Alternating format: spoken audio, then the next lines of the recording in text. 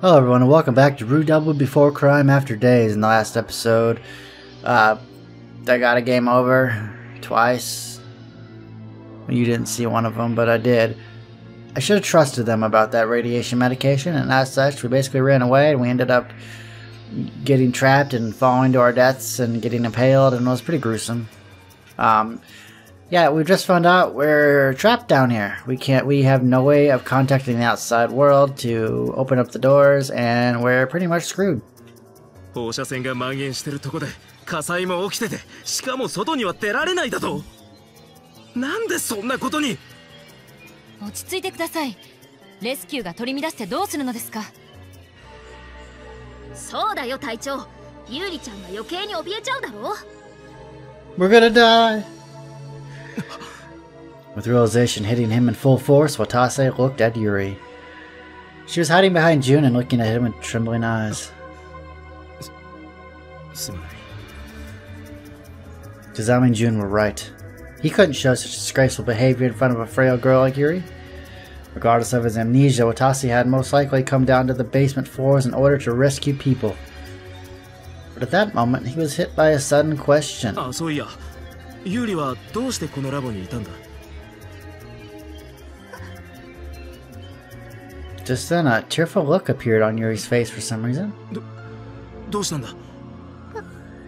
私はその Oh, この職員の家族です。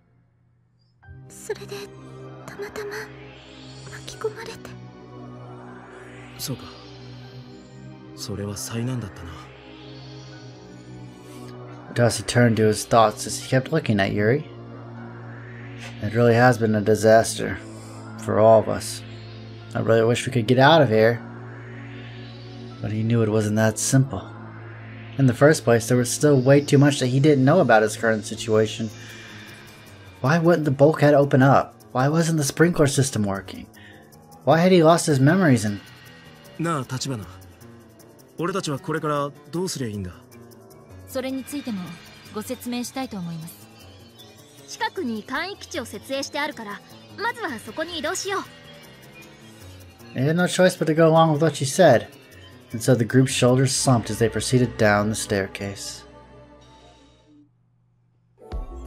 Once they had left the staircase behind them, Kazami walked towards near a nearby room and began talking. ここが我々が設けた簡易基地です各部屋の扉を開けるときはこちらのボタンを押すだけで結構ですので Somebody pressed a button next to the door, causing it to open up just as she said it would. On the other side was a small office about 9 meters long.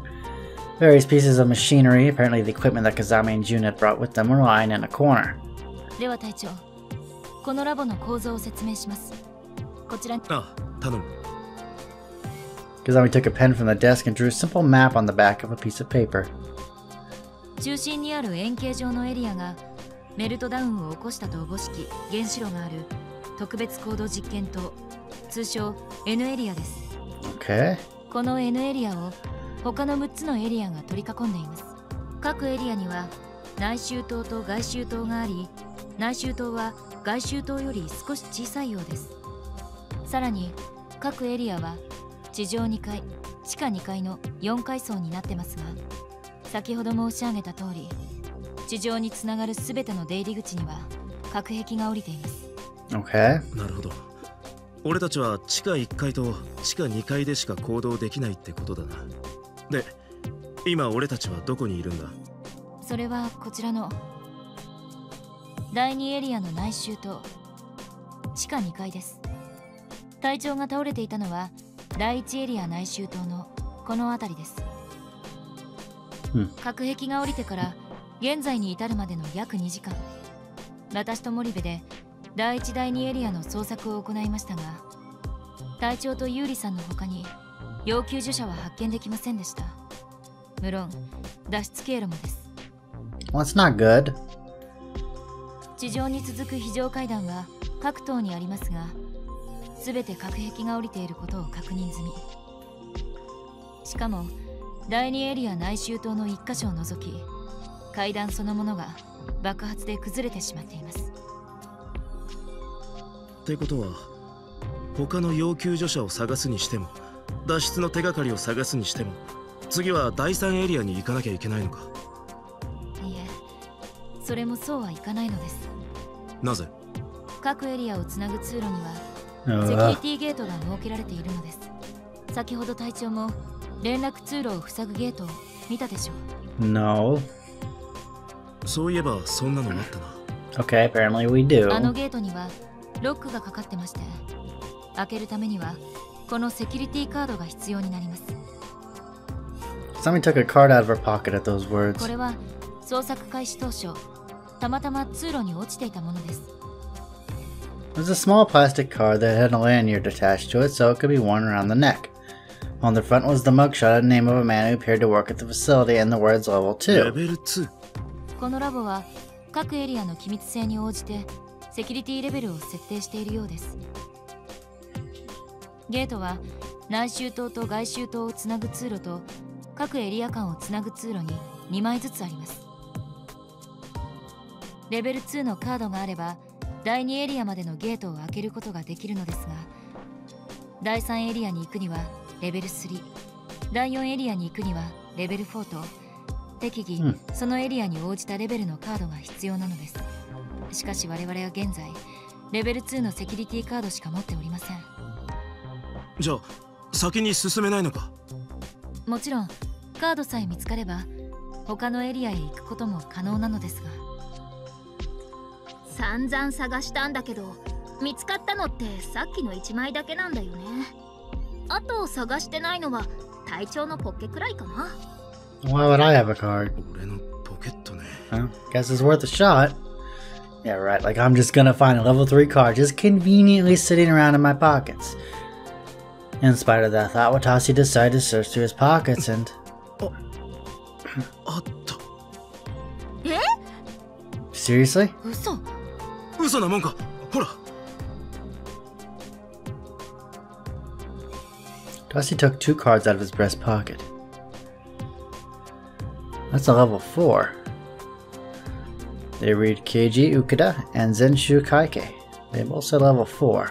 レベル 4? すごいじゃんこれがあれば第4エリアまで行けるよしかしなぜ隊長がレベル4のカードを How the hell should I know? 2枚も I don't even remember my own name half the time. さあ俺にもさっぱり Thinking there might be more clues in them, Watashi checked his other pockets. Maybe I have something useful here. And found another strange item in his other breast pocket. What's 何 that? シリウス正式の PDA です Oh, 我々も持っています PDA? 携帯端末ねレスキュー隊じゃなくても今時持ってない人の方が珍しいよ機能はまず電話と無線それと熱源を感知するサーモグラフィー interesting. どうやって使うんだ使用法はこのタッチパネルを Watase tried tapping the screen as he listened to Kazami's instructions.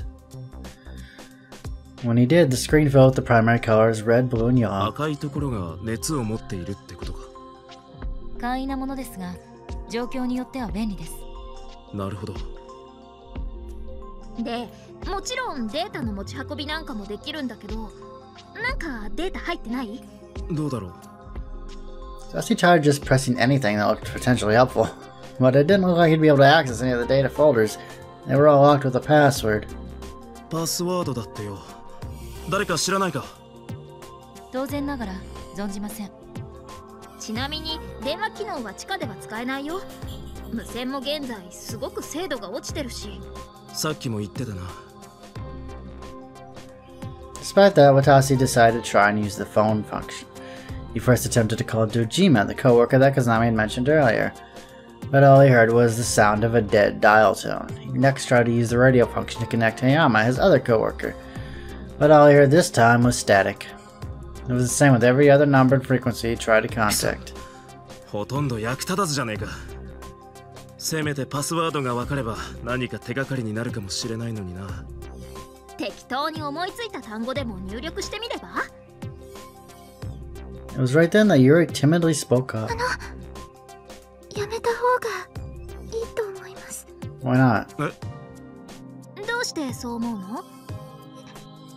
えっと大事な PDA だから。Oh. 万が一壊れたら大変だしそうだな。What does he put the PDA away? ところで立花たちが持ち込んだ備品はどんなものがあるんだ？ああそれも覚えてないんだよね。じゃあ時間ないから手短に説明するよ。すまない。頼む。June nodded and pointed out to the equipment line in the corner. まずこれがさっき投与した AD60 Wonder how many of those we have. 分の間放射線被曝を予防する薬だよ。今の俺たちの生命線か。そういうこと。支給されたものプラス施設内にあったものをかき集めてやっと7本。Oh, there's four of us. That's not gonna last very long. 施設内にも AD があるってことか？有事の際に備えて箱に入った AD がいくつか保管されてるらしいんだよでも第1第2エリアの AD はほとんど消失しちゃったみたい。4人に対し残り7本ということはこのままじゃ2時間も持たないってことか。もっと数があった方が安心だね。それも今後探していこう。次にこれ。放射線計測器プロキオン。いわゆるガイガーカウンターの最新版この小さな機体で1万5000ミリシーベルトまでの放射線量を計測数値化できるんだ Seems like a lot. これと AD はラボの関係者から支給されたものこれがあったから助かってるようなものだよ Yeah. They really are handy. It's almost like the staff gave them to us, knowing what was to come. なーにボケっと考え込んでんの？さっさと次に行くよこれは我が隊の基本装備ね空気ボンベ。でも免停が破損しちゃって今はほとんど役に立たないんだよ。そうか。重要そうなのに残念だな。こいつはエアジャッキ。空気ボンベと組み合わせて圧縮空気の力で重いものを動かす強力なジャッキさ。空気ボンベを使うのか。使用回数は有限ってわけだな免停が壊れた以上それが空気ボンベの唯一の用途だね。さて次はエンジンカッター。強力な内蔵バッテリーで電動エンジンを駆動。人造ダイヤの刃を回し鉄でも何でもスパスパ切っちゃう憎いやつ。興奮するなよ。目が怖いぞ。よく言われるよそれと10メートルロープが1本で、うん装備は全部かな。覚えられた？隊長。あ問題ない。ちなみに他にも放射線防護服が2つあったんですが防護服は消火活動中に破損してもう使い物にならないのです。Aww. Kazami pointed to two ragged objects. Both protection suits had cracked 気 faceplates. 密性耐火性耐水性に優れ面体部分にボンベを直接装着できることが強みだったのですがそこが破損してしまったせいで空気ボンベも役に立たなくなってしまいました。それは痛いな。でもそういえば隊長も防護服を着ていたはずだよね。どうして今は着てないんだろう？うん動きにくそうだから脱いじまったとかまさか本来この施設での救助活動には防護服の着用が義務付けられているんですようんそうか Interesting. でもわからんなそれも例によって覚えてないんだよ Where's her suit? Not only had he had two security cards on him, but he also hadn't been wearing his protective suit. There were just too many mysteries about Watasi's actions before he lost his memories. Seriously. What in the world was I doing in the basement floors? There was probably no one out there who could answer that question. Watasi then spoke with a と sigh. ころでこの後君らはどうするんだねえレベル4のカードも手に入りましたし捜索範囲を拡大するべきだと思いますが隊長はどうする休んでた方がいいかなそうですねまだ記憶も曖昧なご様子ですしああ確かに And just as Watasi was about to take them up on their offer, he locked eyes with Yuri. She still had fear in her eyes. Remember the voice that he'd heard back when they rescued her. 止まる Flashback. な彼女を助けろ Suddenly began wondering if it was really okay for him to just sit around in this room. Saving Yuri and simply leaving it at that, alright? No. With his mind made up, Watasi called out to Kazami and June. ま、待ってくれ俺にも要救助者の捜索を手伝わせてくれしかし大丈夫なの隊長確かに記憶は曖昧だしお前らから見たら足手まといかもしれないけど腐っても俺はレスキュー隊なんだろだったら一人だけ休んでいるなんて耐えられないんだよ Utasi was stirred on by an almost impossible, sorry, impossible, impulsive sense of duty. Kazami's eyes widened. She gave them a wry smile. まったくらしいという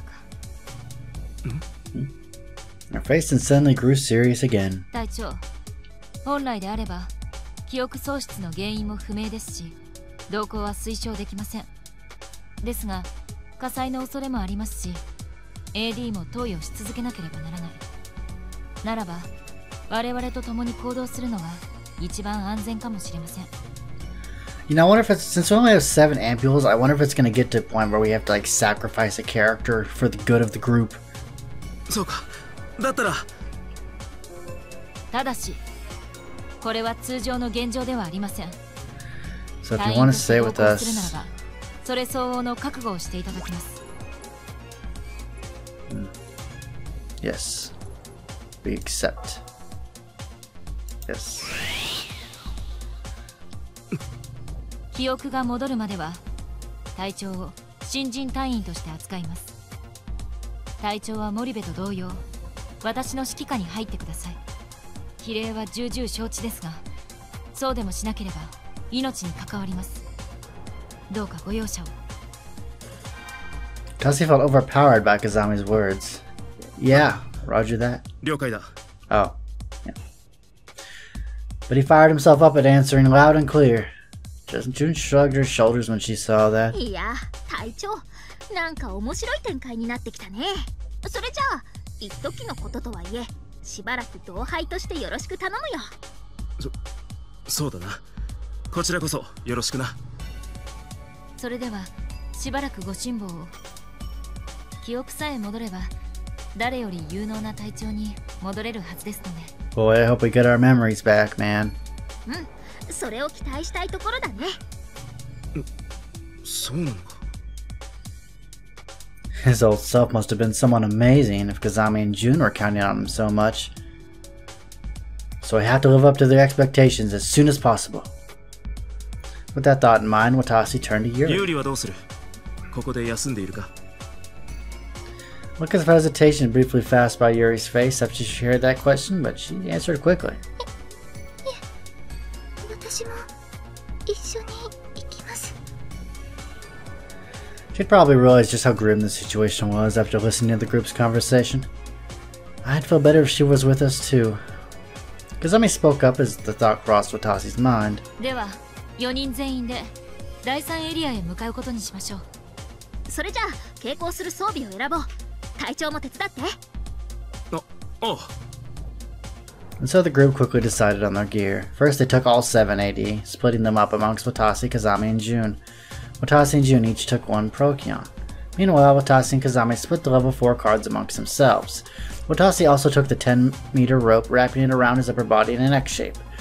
Perhaps they were all too, too lightly equipped, but they decided that mobility took precedence above all else. Yeah, we're on the clock here. We gotta work fast.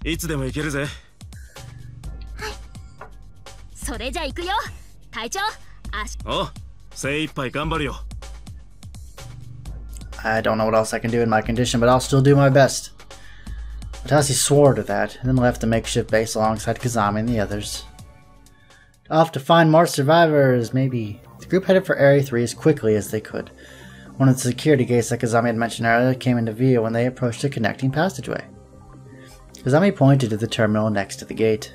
これがカードスロットですここにカードを通せばゲートは開きます一度開けたゲートも再び通過する際にはその都度カードが必要になります Wait, really? 分かったやってみよう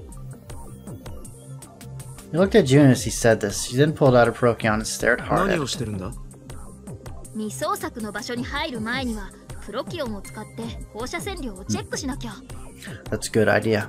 このゲートの先は我々にとって未知の領域ですからね Kazami and June's faces were dead serious.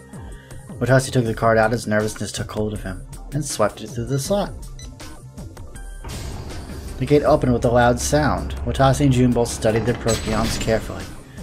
The number was 1285 MSV, so higher than the reading they gotten at Area 1 earlier. よし安全基準地内だ安全基準値内汚染はされてるけど比較的安全ってことだよ安全基準値が4000ミリシーベルト以内これは AD 投与の上なら被爆の危険は皆無という値です 第一危険基準値が4000ミリシーベルトから8000ミリシーベルトこれは AD 投与の上でも長時間の被爆は望ましくない Interesting. 第二危険基準値8000ミリシーベルト Oh, 以.上は AD 投与の上でも要するに4000ミリシーベルト以内なら A4000 ミリシーベルトを超えたら AD があってもちょっと8000ミリシーベルトを超えたら AD があっても死にかねないってわけかええ危険基準値を超えた汚染区域ではプロキオンが警告音を発します万が一警告音が鳴ったら速やかにその場を離れてください Okay. あ The group passed through the gate as they talked. Ooh, look at that. The further they walked down the connecting passageway, the worse the damage got. The walls had been burned to hell and back, and the ceiling was damaged too. ひでえな ここでも爆発が起きたようですね And then, just when they finished rounding a corner, the whole group gasped.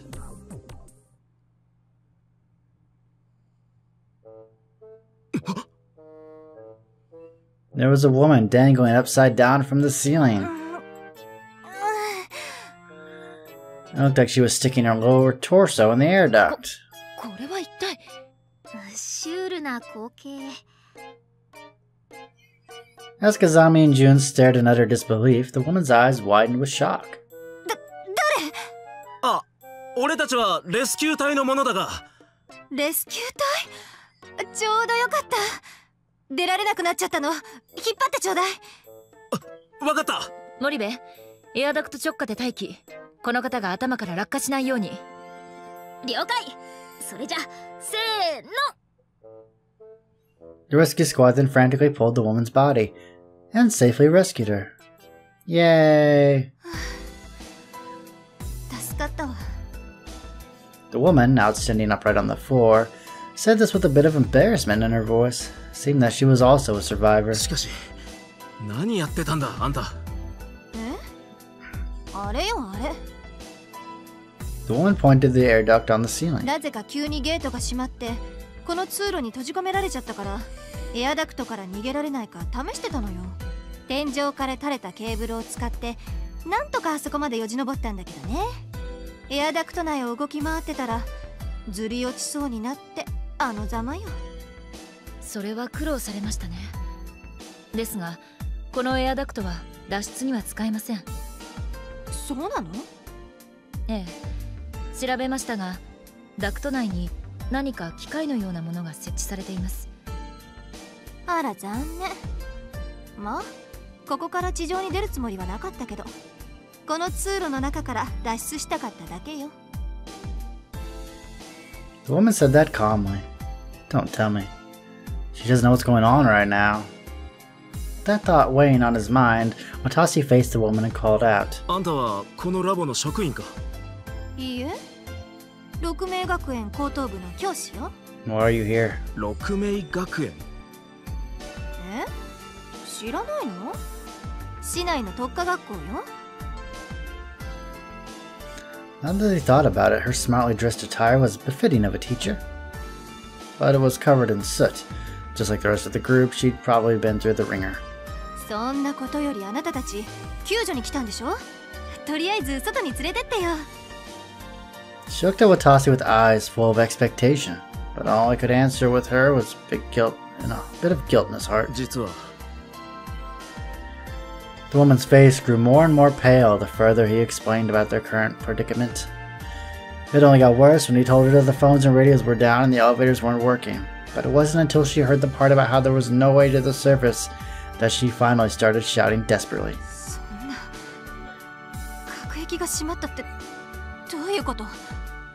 原因はこちらでもつかめておりません。そんなもの壊してしまえばいいじゃない。なんかこう特殊装備的なもので。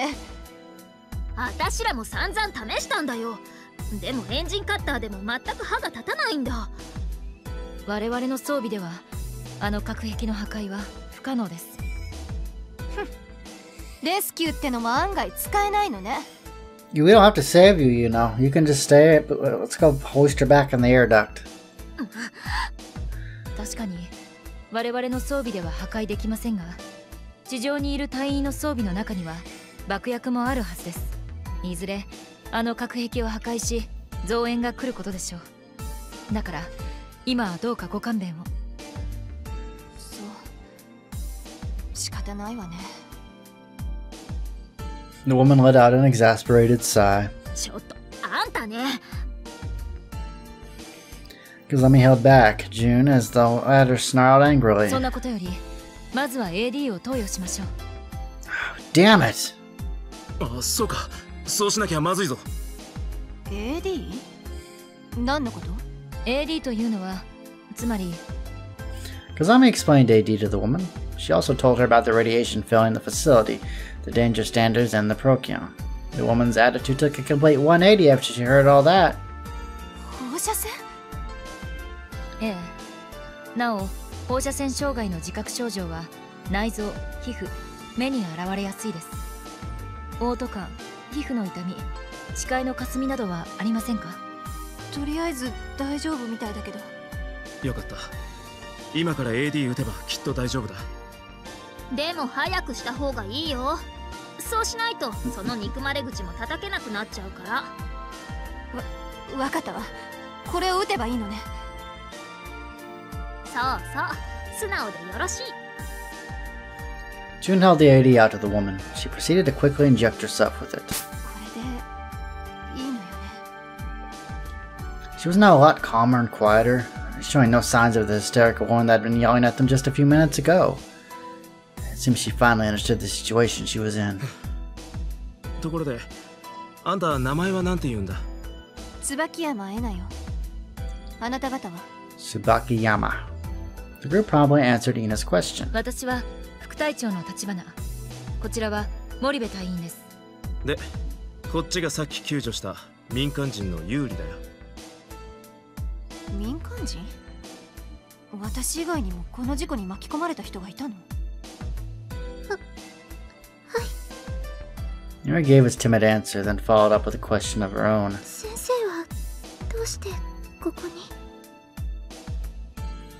Yuri politely referred to Ina as Professor. Ina appeared to be used to being called that as she answered Yuri's question without the slightest hint of awkwardness. 私私はここの職員に呼ばれてきたの Interesting. そうしたらいきなり爆発が起きてみんながパニックになってよくわからないうちにここに閉じ込められちゃったのそいつは災難だったな Boy, tell me about it. And you know, with that, I'm going to end the video off here. And in the next video, we'll continue to search for more survivors. Hopefully, we find some, and hopefully, no one's dead. Um, how long are we going to last? We've only got, well, now we only have six ampules of AD and five people. So, yeah, it's going to be interesting how it's going to get rationed out. So, with that, I'll see you in the next video. Take it easy.